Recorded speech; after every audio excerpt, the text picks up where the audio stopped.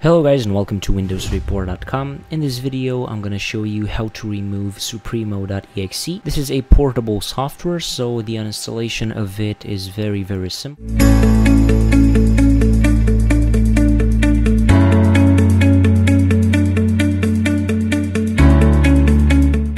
If you want to just remove it, you can easily delete the portable Supremo file. That's very easy, just right click on it and delete. If you installed some services on it, it would be a bit more complicated. So what you have to do is go to tools and then go to options and here go on service and see if you have the Supremo service installed. If you have it installed, you're gonna have to click on uninstall and that's how you're gonna uninstall the Supremo service. So that's it. It's a very quick process. So I'm hoping that you managed to completely remove supremo.exe. So this was the video guys. Don't forget to leave a like if you enjoyed it and subscribe to the channel with the notification bell activated so you won't miss any future uploads. Also don't forget to leave a comment down below with problems that you have on your Windows operating system and we can try to solve your issue in the next video. Until next time, have a nice day.